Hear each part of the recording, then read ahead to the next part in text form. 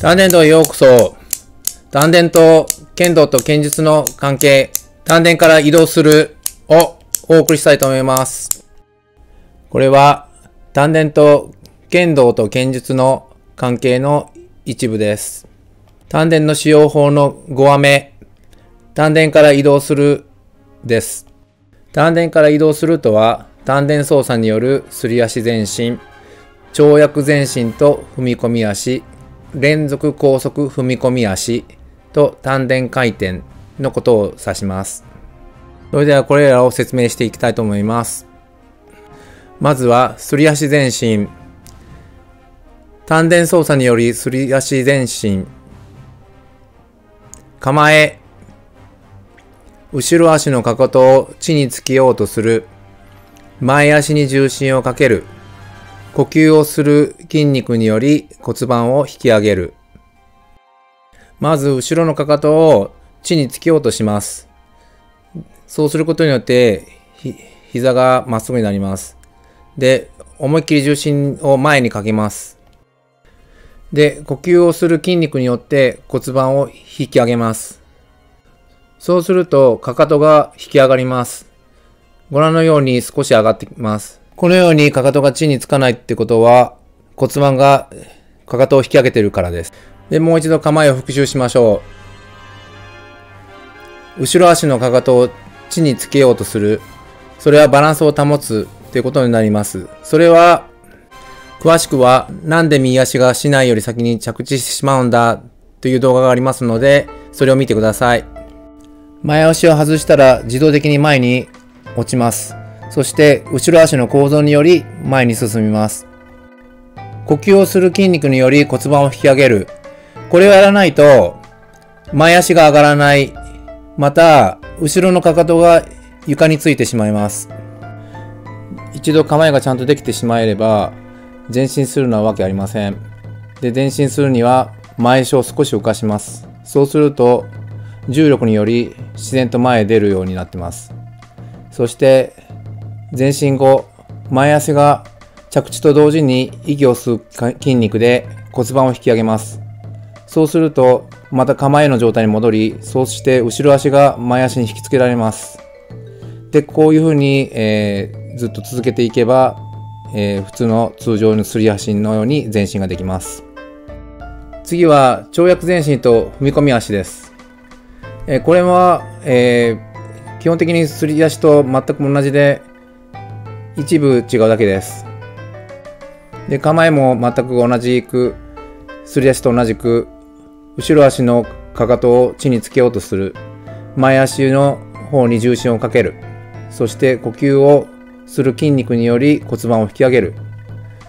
で、そして前進の時に前足をすり足よりも少し上げます。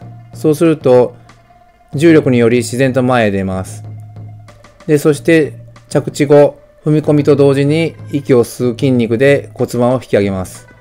後ろ足が前足に突き引きつけられます。以上です。ということで自分で参考にやってみました。かかとを地につけようとするとこんな感じで、えー前に出られます、えー今回重力だけ使ってやってるのでそんなに前には飛べませんけれどもでも、えー最初の予備動作がなく前に簡単に出られます。で、つま先で蹴った場合はこういう風に、えー一度沈んで、で、しかも膝が曲がって、え前に出ます。まあ、重力だけよりも前に出ることができました。かかとを地につけようとして飛んでみました。そうすると結構まあ前、このように飛べることができました。で、今度はまたつま先で蹴って、えー頑張って飛んでみました。そうすると同じぐらい飛べたんですけれども、やっぱりなんか浮いたような感じで飛ぶようになるんですよね。あんまりいいとは思いませんけど。丹田操作による連続高速踏み込み足。地面の踏み込みの衝撃を縦波として丹田へ送る。丹田のクランクシャフトで波を足に返すと同時に手にも送る。脚や腕の筋肉に頼らず繰り返せる。丹田回転、ジャイロ丹田、ジャイロ回転させた円盤は軽く感じます。えドローン丹田、えー、広沢聖山先生の提唱です。えー、月の帽子、常に回転してるといつきはなくなるはずです。連続運動、常に回転してると連続してできるはずです。物理的に回転する必要なし、意識による回転が重要です。で、丹田から移動する利点を紹介したいと思います。丹田操作によるすり足前進、かかとをつけるな、脚をまっすぐになどの注意事項を満たします。えー、重心は、えー、真ん中になります。えー、前に重心かけろと言いましたけれども、実際に測ってみると重心は真ん中になります。